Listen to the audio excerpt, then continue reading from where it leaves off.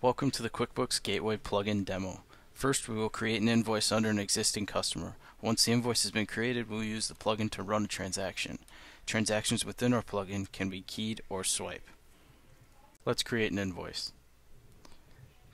The invoice creating process is no different than what merchants are familiar with.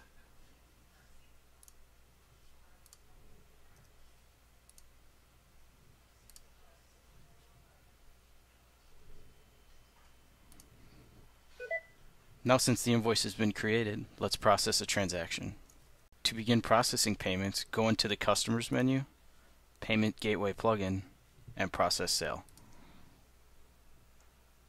The plugin will launch and you will use this form to process the transaction. If you wish to cancel your transaction at any time, simply click the Cancel button or click the Close box in the upper right hand corner of the form. There are three types of transactions you can run from within QuickBooks. You can apply to a customer's open invoices. If this option is selected, a receive payments record will be created and payments processed through the plugin will be applied using the default QuickBooks rules for applying payment. You can also apply to a specific invoice. If this option is selected, the user will select a specific invoice to apply the payments to and a receive payments record will be created upon successful completion of the transaction. You can also create a new sales receipt. If this option is selected, a new sales record will be created upon successful completion of the process. You can also add or update a customer vault record. Clicking this box will record the transaction ID from the transaction in the new Vault ID field inside QuickBooks.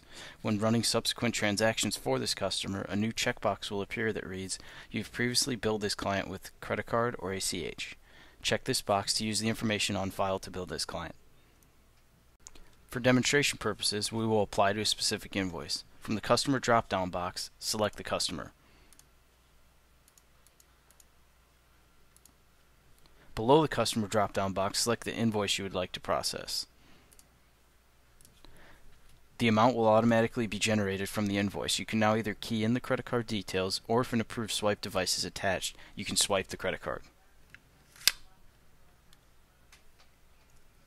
Then click Process and Close. The transaction was successful and the details are shown below. Click OK. After clicking OK, a Receive Payment screen will appear and the plugin will automatically create a payment record linked against the invoices that were paid. From this screen, you can select the invoice number recently processed. Once selected, you can see the invoice has been marked as paid within QuickBooks. For more information on advanced features of the plugin, please contact your merchant service provider.